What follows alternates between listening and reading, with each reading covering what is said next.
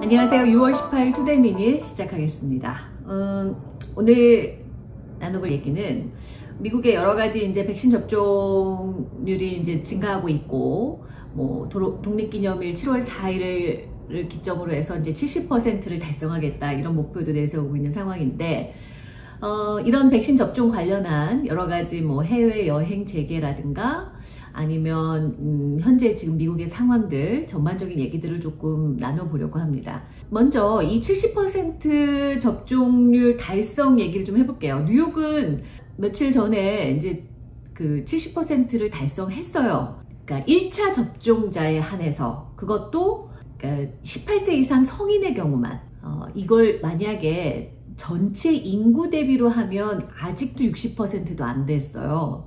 그런데 이게 18세 이상 성인 대비 최소 1차 접종자가 지금 70%가 됐다는 겁니다. 뉴욕의 경우요.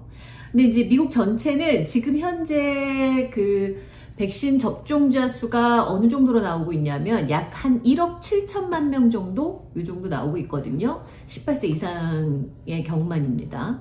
어, 그래서 이게 18세 이상 그 인구 대비로 보면은 한 65% 정도밖에 되지 않아요. 근데 이제 7월 4일 얼마 안 남았잖아요. 그래서 이제 만약에 지금의 속도라면 7월 4일이 됐을 경우에는 한 67에서 68% 정도 될 것이다 라는 전망이 나오고 있습니다. 그렇기 때문에 이제 바이든 대통령이 말한 그 7월 4일의 70% 접종 달성은 조금은 어렵지 않겠느냐. 하지만 이제 이 독립기념일을 맞아서 뭐 그렇다고 해서 우리는 실패했습니다라고 바이든 대통령이 절대 얘기하지 않겠죠.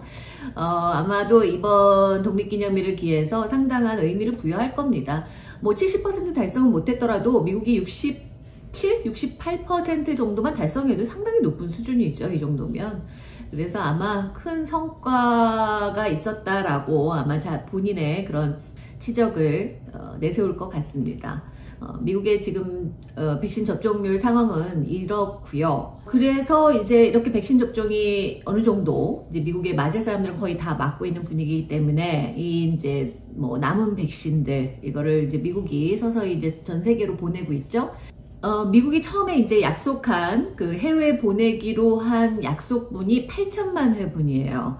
어, 이제 이게 오늘을, 어, 오늘 어제를 시작, 어제를 기점으로 해서 이제 8천만 회분이 이제 해외로 배송이 시작이 됐는데 가장 먼저 이제 캐나다로 갑니다. 100만 회분 정도가 먼저 캐나다로 갈 거라고 그래요. 예전에 한번 말씀드린 적이 있었던 것 같은데 캐나다가 지금 1차 접종률이 60 퍼센트가 넘는데 이게 거의 다 아스트라제네카를 맞았고요. 그런데 지금 2차 접종분이 없어가지고 2차 접종률은 굉장히 낮아요. 그래서 어, 지금 이번에 이제 미국에서 들어가는 파이자 백신을 가지고 2차 접종을 하겠다. 그래서 이제 어, 캐나다는 대대적으로 이 교차 접종을 실시하겠다는 거죠. 전 국민을 대상으로. 그러니까 1차 아스트라제네카 백신 맞은 국민들, 2차는 전부 다 파이자 백신 맞아라. 이런 얘기죠. 그리고 나서 이제 몇 주 후에는 이제 브라질로도 갑니다. 미국에서의 백신이. 어, 그리고 백악관이 이제 이런 약속도 했죠. 이제 올해 하고 내년에 걸쳐서 총 5억 회분을 좀 이제 빈국, 그러니까 이제 가난한 나라들 아직 백신 을 이제 공급 계약을 맺지도 못하고 공급을 제대로 받지도 못하는 주로 이제 아프리카나 이런 나라들이 될 것 같은데요. 거기에 이제 5억 회분을 이제 올해 말부터 해서 내년까지 보내겠다. 그래서 얼마 전에 그 파이자 그 CEO가 나와서 그런 말을 했죠. 내년 말은 돼야 전 세계가 이제 팬데믹으로부터 벗어날 것이다. 그게 이제 이런 이유들 때문입니다.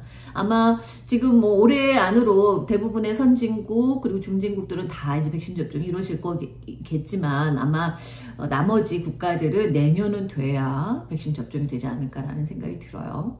어, 그리고 유럽 연합에서요 미국의 여행객들을 받겠다고 공식적으로 이제 허가를 허용을 했습니다.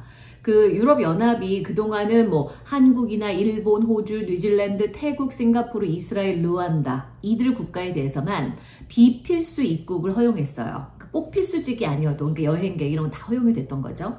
어젠가 오늘인가 그 미국, 대만, 홍콩, 마카오, 알바니아, 레바논, 북마케도니아, 세르비아 여기까지 확대한다고 발표를 했어요. 미국이 포함이 됐죠. 어, 유럽 입국할 때는 뭐 코로나19 검사라든가 백신 접종 기록 제출이 의무 사항은 아니에요. 그런데 이게 그 유럽 연합에서는 의무 사항이라고 이제 발표하지 않았지만 이 회원국들이 27개국이거든요. 근데 각 국가별로 그 지침을 다르게 적용할 수 있어요. 그러니까 뭐 어느 어떤 나라는 반드시 백신 접종 증명서를 제출해라 라는 나라가 있을 수도 있고 어떤 나라는 코로나19 검사 음성 확인서를 반드시 제출해라. 이런 나라들이 있을 수 있어요. 그러니까 만약에 어 뭐 유럽에 가실 계획이 있으신 분들은 그 국가별로 어떻게 다르게 지침이나 규정들이 정해져 있는지를 꼭 확인하시고 미리 준비를 해 가시는 게 좋을 것 같습니다. 유럽은 뭐 7월 1일부터 백신 여권을 이제 공식적으로 어, 다 발급해주고 이제 시작, 시행을 하겠다고 그랬죠. 그 디지털 코로나19 증명서 이런 것들을 만들겠다고 합니다. 미국은 안 될 것 같아요. 아시겠지만. 그리고 이제 가장 중요한 부분이 이제 사실은 유럽 여행도 많이 여기 뉴욕이기 때문에 유럽 여행도 많이 가시지만 이제 한인분들은 아무래도 한국을 많이 가시죠. 특히나 한국에서 이제 자가격리 면제 지침을 새롭게 발표를 했기 때문에 뭐 지금 각 그 미국에 있는 뉴, 그 영사관으로 문의가 엄청나게 폭주를 했다는 그런 뉴스들도 나오더라고요. 그러니까 영사관 전화 연결 자체가 안 됐다고. 어, 여기에 대해서 조금 지난번에도 솔, 이제 자세한 설명을 드렸지만 업데이트를 좀 해드리면 이게 7월 1일부터 시행을 한다 그랬어요. 그렇다면 이게 미리 신청을 해서 7월 1일 땡 하면 한국 갈 수 있다는 얘기가 아니라 7월 1일 땡 하면 신청서를 접수를 받겠다는 거예요. 그러니까 7월 1일부터 갈 수 있는 사람은 아무도 없습니다. 그래서 7월 1일부터 이제 신청서를 받을 텐데, 어, 그게 중요한 거는 이게 심사를 하는데 서류를 접수를 하면 심사하는데 1주에서 2주까지 걸릴 수 있다는 거예요. 그러니까 7월 1일 땡 해서 모든 서류를 접수를 딱 했어요. 그렇지만 빠르면 일주일 아니면 2주 정도까지도 기다려야 된다는 얘기입니다. 근데 또 이것도 무, 뚜껑을 열어봐야지 알아요. 만약에 7월 1일 딱, 딱 됐는데 뉴욕 같은 경우는 특히나 이제 한인 인구들이 많다 보니까 만약에 신청자들 폭주를 하게 되면 이게 1, 2주 갖고 될 일도 아니고 한 달이 걸릴 수도 있다. 이런 예상도 지금 나오고 있습니다. 어, 접수는 지난번에 제가 말씀드린 대로 이메일 접수도 가능해요. 그렇기 때문에 굳이 맨하탄까지 가실 필요는 없고요. 어, 이제 뉴욕 같은 경우는 가실 필요 없고 이메일로 접수 가능합니다. 필요한 서류들 지금 영사관 홈페이지에 이제 다 나와 있거든요. 그러니까 그 준비하셔서 스캔하셔가지고 이메일로 보내시면 접수가 됩니다. 그러면 이제 심사가 시작이 될 거고 지금 발표는 1, 2주라고 했지만 어, 한 달까지도 걸릴 수 있는 문제라 영사관 측에서는 비행기 티켓 미리 끊어 놓지 마시고 한 아니 비행기 티켓은 있어야 돼요. 예, 네, 그게 증명서가 돼야 되는데 비행기 티켓을 한 7월 말 이 정도에 끊으셔라 이런 얘기들이 있더라고요. 어 근데 이것도 7월 1일 딱 되면 신청하는 경우나 그렇지 만약에 조금 늦게 신청을 하시면 뭐 8월이나 돼야지 나올 수도 있습니다. 지금 얼마나 많은 사람들이 신청을 하고 몰릴지는 알 수가 없는 상황이라 이런 부분 좀 유의하셔야 될 것 같아요. 그래서 나는 반드시 7월 초나 중순에 가야 된다 한국에 이러신 분들은 격리 면제서 가지고 가시긴 좀 힘들지 않을까라는 생각이 좀 듭니다. 그리고 경제, 경, 격리 면제서라는 거는 반드시 출국 전에 들고 타셔야 돼요. 내가 이거 타고 입국해서 신청할래? 안 됩니다. 한국에서는 신청할 수가 없어요. 반드시 미국에서 그 각 현지 그 국가에서만 신청 그 영사관으로만 신청이 가능하다는 거 이거 아시고 반드시 들고 타셔야 됩니다. 어, 그리고 미국이 이제 질병통제 예방센터가 크루즈 여행을 할 수 있다라고 공식적으로 이제 발표를 했어요. 이게 공식적인 발표가 뭘로 이루어졌냐면 그동안에는 크루즈 여행, 이게 그 크루즈 여행에 대해서도 여행 경보 이 단계가 나눠져 있거든요. 근데 4단계였어요. 4단계는 여행, 모든 여행을 피해라. 그러니까 아예 할 수가 없는 거예요. 크루즈 여행을. 근데 이거를 3단계로 완화해 줬어요. 3단계는 어, 크루즈 여행 전에 백신 접종을 맞아라. 이거를 하면 가능하다.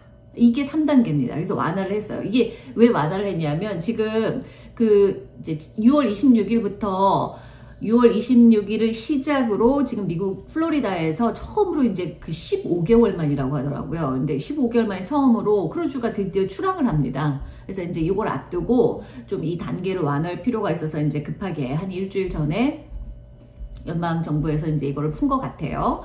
그런데 단지 이제 모든 게 권고 사항이에요. 의무 사항은 아니에요. 연방 정부에서는 백신 접종은 반드시 해야 돼요. 그런데 크루즈 여행을 가려는 사람은 여행 하루에서 3일 전, 그리고 여행한 다음에 3일에서 5일 후에 코로나 검사를 반드시 해라. 이런 게 지금 권고사항으로 나오고 있고요. 만약에 백신 접종을 마치지 않은 사람이 크루즈 여행을 다녀왔다면 검사 결과 음성 판정이 나와도 7일간 자가격리하고 검사를 아예 안 받은 분들은 여, 어, 열흘 동안 격리를 해라. 이렇게 얘기를 하고 있거든요.